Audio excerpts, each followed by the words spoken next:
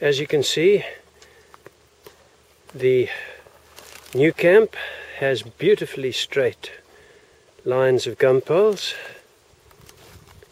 and all the gum poles are sunk into concrete to make them stronger.